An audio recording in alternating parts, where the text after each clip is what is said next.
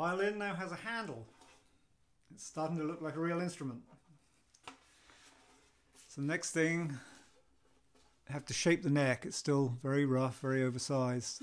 And shaping the neck's very important. Um, players really notice uh, the uh, different neck shapes. It needs to be, in general, uh, the less of it there is, the better. But of course, you can't go too small because um, the neck will bend under the strings.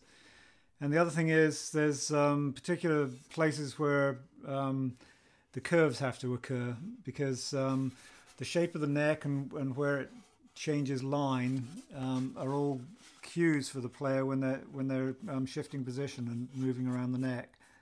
So it's it's all uh, it's all important stuff, and um, it's also the part that the player's actually holding on to, um, and it's one of the parts that I really enjoy making the most because uh, it's it's very tactile and uh, um, there's a lot of a lot of feel in in shaping this thing.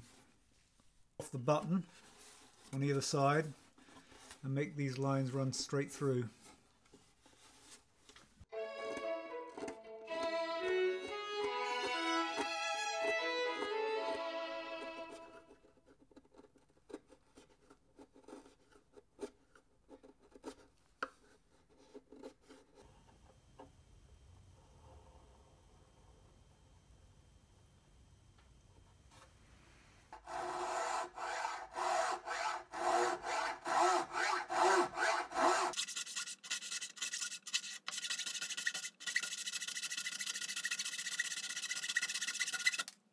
This is a draw knife. Has the flexibility of a knife, but you get extra leverage on it. If you anchor one end, you, you're actually you have some levering action going on there, so you can make quite um, quite controlled cuts with it, and it uh, it tracks as well as a as a spoke shave.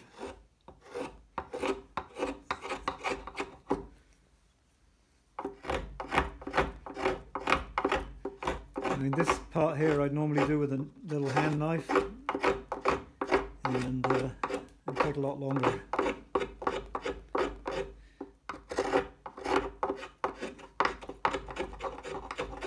I've been dreaming about making one with a blade that's only that wide. And you could really get into the corners with it.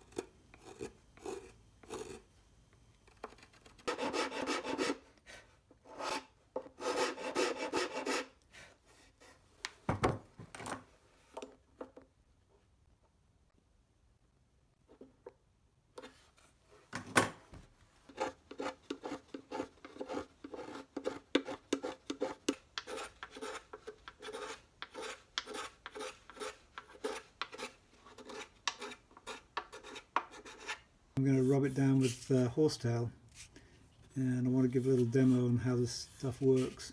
Um, I've rubbed it down with 400 grit and it's very smooth, it's got a dull surface. I come in with the horsetail.